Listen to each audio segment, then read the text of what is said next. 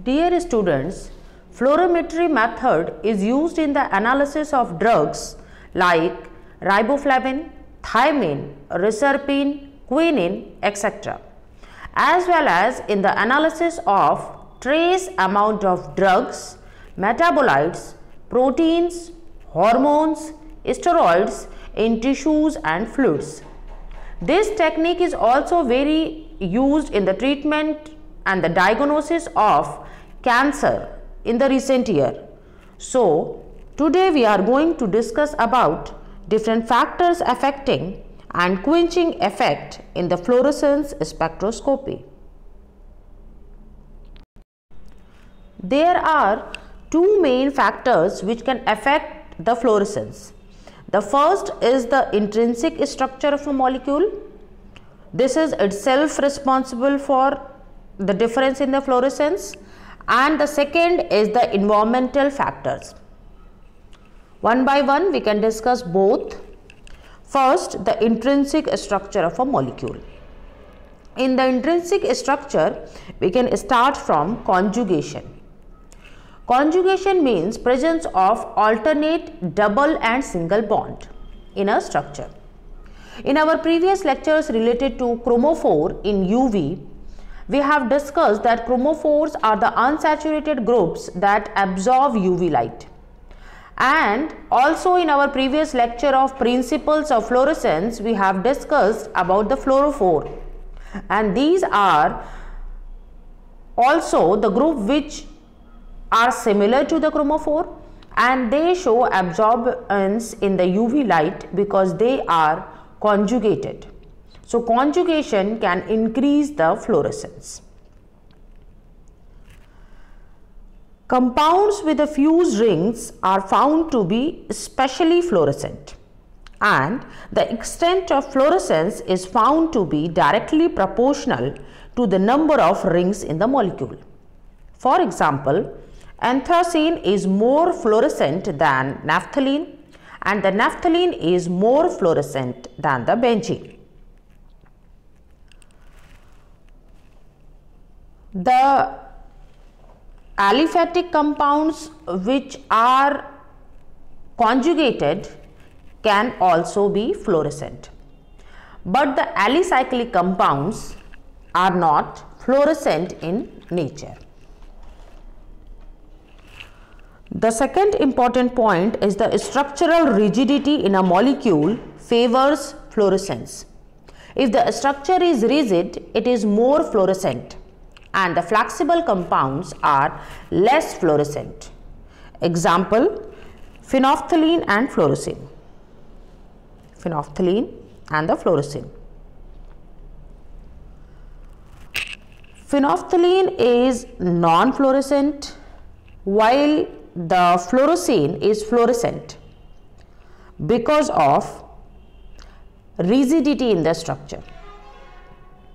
When a structure is rigid, it remains in one plane. And when structure remains in one plane, the pi electron get proper time to absorb the UV or visible radiation.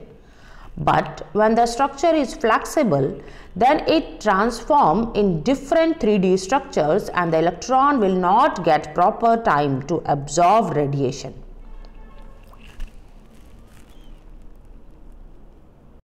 Another example is a biphenyl and a fluorene.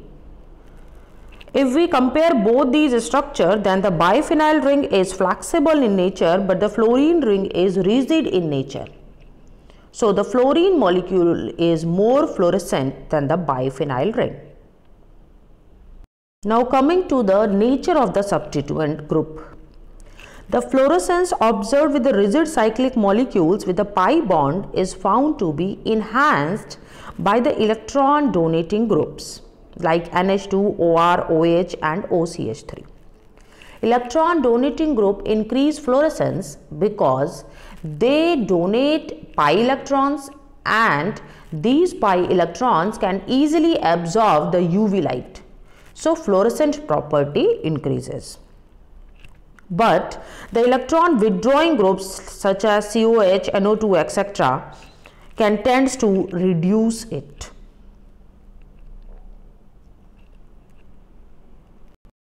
Now the next intrinsic factor is heterocyclic compound. Heterocyclic rings which contain nitrogen, oxygen, sulfur can have more lone pair of electrons and if there is more lone pair of electron the electron can goes from singlet excited state to the triplet excited state. And then they can return back to the singlet ground state. And this will emit the light. And the process is called as uh, phosphorescence which is a radiative pathway. So, the heterocyclic ring pyridine, quinoline, isoquinoline all contain nitrogen along with other heterocyclic rings which contain oxygen and sulfur are fluorescent and phosphorescent. Aliphatic and alicyclic carbonyl compounds or highly conjugated double bond structures are also show fluorescence. Now coming to the second part that what are the environmental factors that can affect the fluorescence. The common factors which can affect the fluorescence are temperature, pH, dissolved oxygen and the solvent.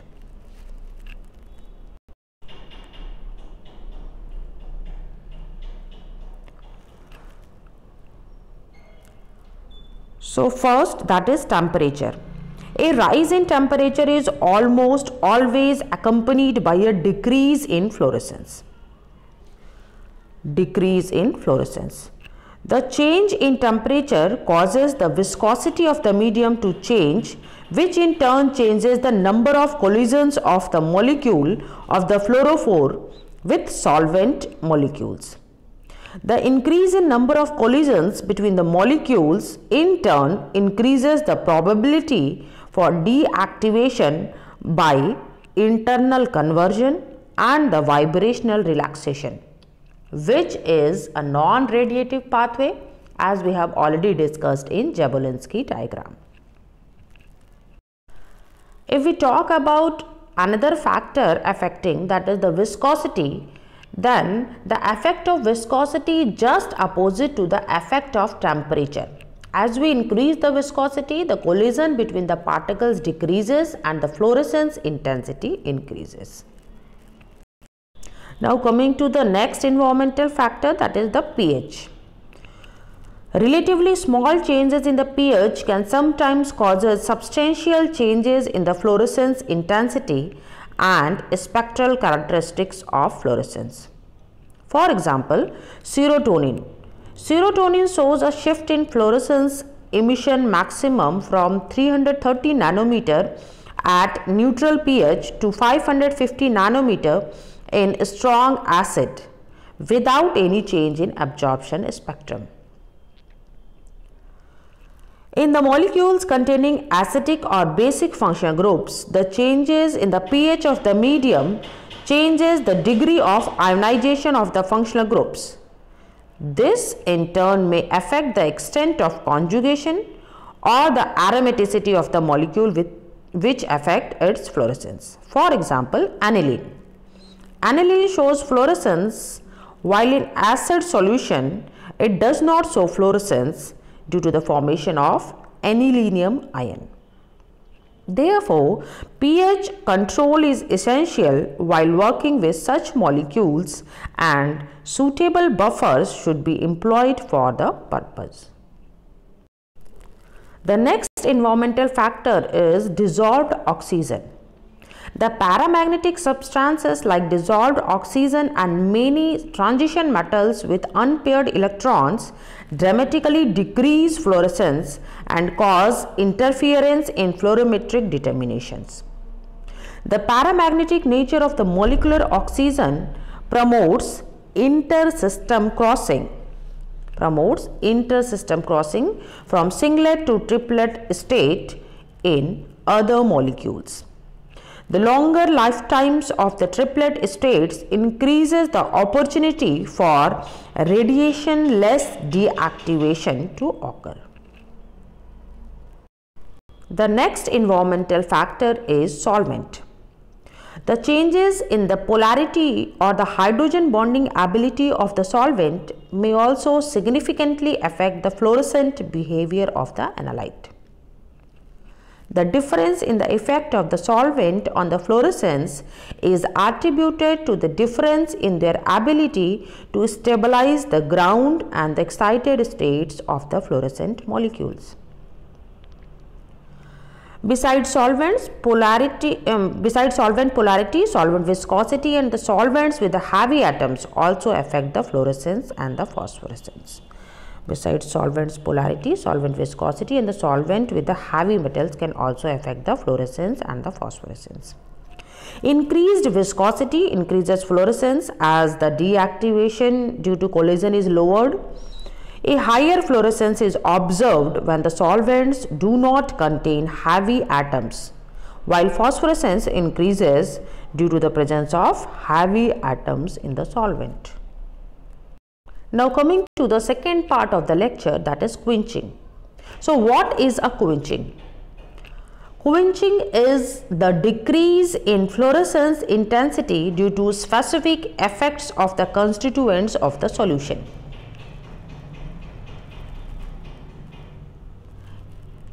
Itself it may be due to the various factors like concentration, pH, presence of a specific chemical substance, temperature, viscosity, etc. So what are the types of the quenching? There are various types of the quenching that is the self quenching, the chemical quenching, static quenching and the collision quenching. One by one we can discuss all. The first and important quenching is self quenching which is also known as concentration quenching. Concentration of a solution is also an important factor. If we use a dilute solution, then we can observe a linear response between the concentration and the fluorescence. This is a linear response if we choose a dilute solution. But if we increase the concentration, then the curve become flattened. Then the curve become flatten at high concentration. Because of more amount of collision at higher concentration between the molecules. And due to these collision molecules releases energy in the form of heat. So the compound becomes less fluorescent. And this phenomenon is called as self quenching or self absorption or concentration quenching now the next is the chemical quenching. The quenching which occurs as a result of change in the chemical nature of the fluorescent substance is called chemical quenching and it can be due to change in pH, presence of oxygen, presence of halides, electron withdrawing groups or the presence of heavy metals. For example, aniline at pH 3 to uh, sorry 5 to 13 gives fluorescence but at pH less than 5 and more than 13 it does not exhibit fluorescence.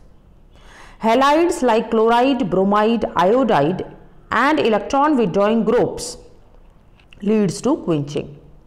Heavy metals leads to quenching because of collisions of triplet ground state. The next is the static quenching and it occurs due to the complex formation between the quenched and the fluorescent molecule at ground state. It occurs due to strong complexing between the fluorescent and the quenched. For example, if there is a fluorescent compound and it is complexed with a quenched compound and this complex is very strong so it causes quenching and this light cannot be emitted which occurs in the fluorescent radiation. And the last is the collisional quenching. It reduces the fluorescence by collision where number of collisions increased as the quenching takes place. So this is all about different factors affecting fluorescence spectroscopy. If you like this video, please do subscribe my channel. Just click on the subscribe button below this video and do share with your friends. Thank you for watching.